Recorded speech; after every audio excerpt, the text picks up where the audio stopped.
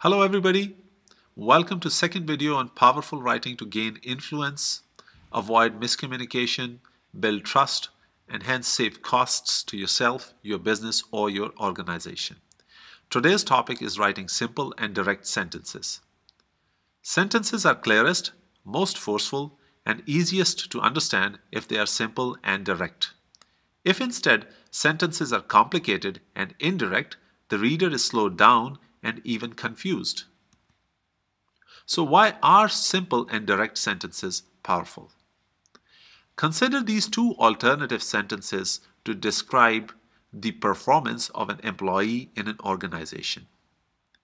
The first is, recession had John saving us millions. Whereas the second says, during recession, John saved us millions. Which sentence do you think praises John directly and clearly. Clearly, the first sentence is neither direct nor clear. Instead, it is ambiguous. It can imply as if recession caused John to save millions.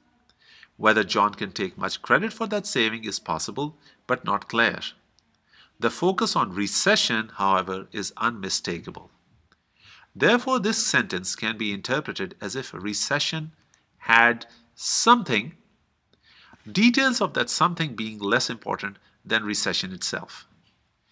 In contrast, the second sentence is simple and direct. It clearly states that John saved millions. If we simplify this answer, we can say that at some time, John saved us millions. Whether that time is important or not, John's role cannot be swept aside. Let us consider another example. Suppose we want to know what work was done somewhere. Consider this first answer. It says, Satron had wiring installed, walls painted, and doors fixed. Question is, what is Satron? Is this a person who was responsible for getting all these jobs done? Or is it the building where everything was done. Even I don't know the answer to that because I just invented that name for this slide. Now instead, if we write, in Satron, wiring was installed, walls were painted, and doors were fixed. It's clear that we are talking about a building here. So how do we make simple and direct sentences that deliver the intended message powerfully without ambiguity? Is there a definite method to it or is it just an art? Fortunately, there is a method to keeping sentences simple and direct. And these techniques are express core of the message in subject, verb, and completer of sentence, avoid noun clusters, write short sentences, use clear pronouns, put parallel ideas in parallel forms. In this video, we shall only discuss the first technique. In fact, for this video, we shall simply discuss a part of the first technique. That is, how to emphasize what is the topic of a sentence. To do that, we put the topic into the subject of the sentence. Now, what do we mean by the subject? To refresh our memories, let's take a quick detour into English grammar. So we have a sentence here, John wrote the letter. In this sentence, wrote is a verb which describes an action.